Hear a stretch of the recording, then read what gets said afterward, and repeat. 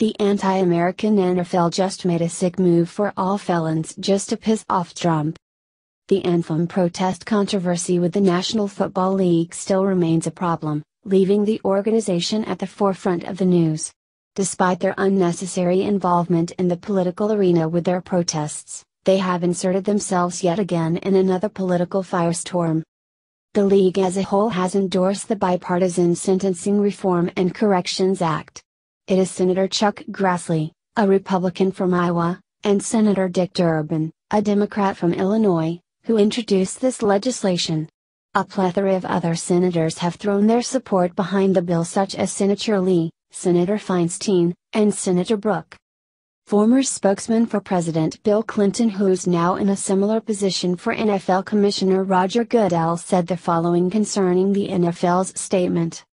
We felt that this was an issue over the last months, as we have continued to work with our players on issues of equality and on issues of criminal justice reform, that was surfaced for us, and we thought it was appropriate to lend our support to it. This particular piece of legislation would change life sentences to three time drug felons to a new 25 year term. As well, it amends the Controlled Substances Act and would impose a mandatory minimum of only five years rather than 10. In addition to this, it seeks out other alternatives to prison for offenders that are nonviolent, for example, home confinement. Despite the broad support it has received, this bill was introduced in a former Congress but never came before the House because of detractors such as now Attorney General Jeff Sessions, who was a senator at the time and he did not support the bill. But now the tides have turned and it has been introduced in the 115th Congress. The text of the bill asks the Attorney General to create a strategic plan for the expansion of recidivism reduction programming and productive activities. The Washington Post reported. On Capitol Hill, spokesman for the two main sponsors of the criminal justice bill, Senators Charles E. Grassley, Republican Iowa, and Richard J. Durbin, DO, declined to comment about the timing of the NFL's endorsement or whether it was intended to quell the heated debate over the players' continued protests. Both said they welcome the NFL's support. But a spokesman for Grassley added that the NFL had not coordinated with the bill's congressional sponsors in advance of its decision. In the meantime, no other sports league has signed on. A spokesman for the NFL Players Association did not immediately return a call for comment about whether the Football Players Union would also endorse the bill. In Congress, it is not clear whether the NFL's endorsement will help the bill's chances of passing.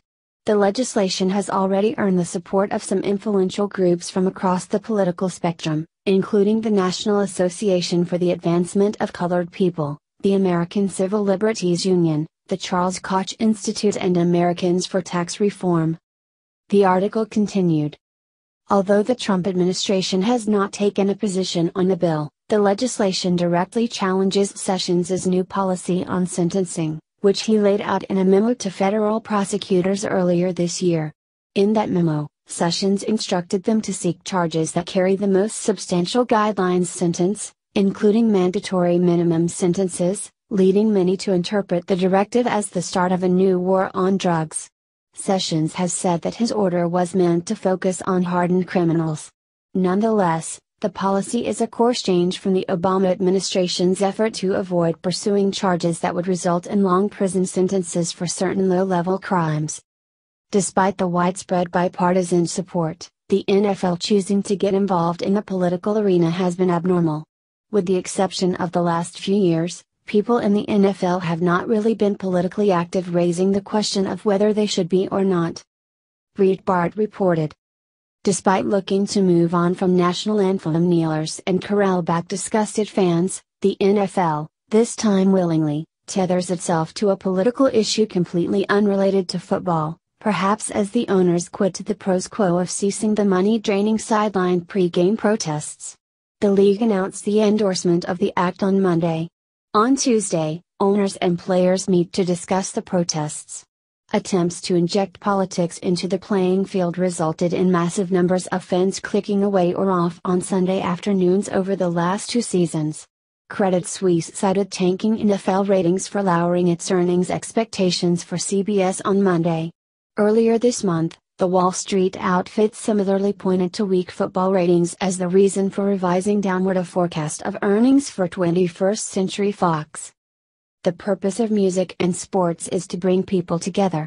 People who ordinarily disagree and cannot find common ground, through sports and music, are able to. Yet by the NFL injecting themselves in the political arena, they are causing the exact opposite of that. In a time more than ever when we need to be united, it is imperative that we have an outlet like professional sports to bring this country together. However, professional athletes have proven time and time again they do not agree. Which is sadly unfortunate. Perhaps with this latest move, the NFL should be renamed the National Felons League. Join the Support Our Vets, boycott the NFL and their sponsors' Facebook page by liking it, and share if you're boycotting the NFL and the companies that support them, support them.